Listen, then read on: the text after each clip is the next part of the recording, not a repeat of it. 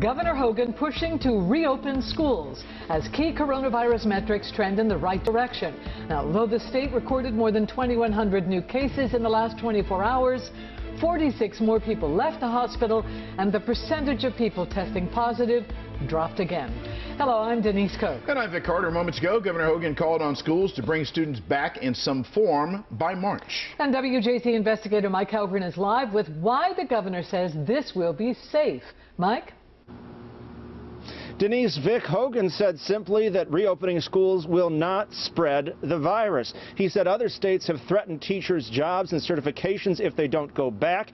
He said he does not intend to do so. But the teachers union, the state's largest teachers union, just put out a statement and they said that this is not the time to point fingers and threaten educators or scare educators and move the goalposts. There is no public health reason for school boards to be keeping students out of schools. None.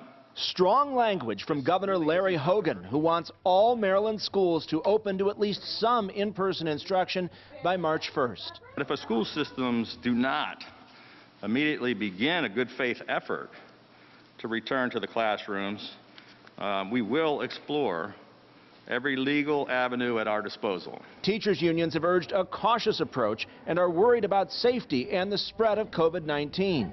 Teachers and support staff only became eligible for vaccines this week, but Maryland, like other states, has seen vaccinations move at a frustratingly slow pace. The state says classrooms should open anyway. And I do encourage all education staff to get a vaccine when it becomes available to them.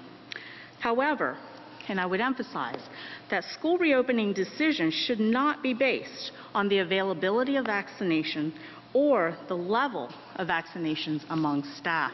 Maryland is demanding at least hybrid in-person and online learning. The governor warns there are no excuses, even though he cannot force local school boards to reopen. Our children simply cannot afford any more endless roadblocks or any more moving of the goalposts the time has come to get all of our kids back into the classrooms and to reopen our schools. And after the governor's remarks, the state school superintendent received her vaccine along with eight other educators and support staff. Reporting live, Mike Hellgren, WJZ. Mike, thank you. The demand for the COVID-19 vaccine continues to outstrip the supply. Eligible people line up at the Timonium Fairgrounds to get their shots after registering online.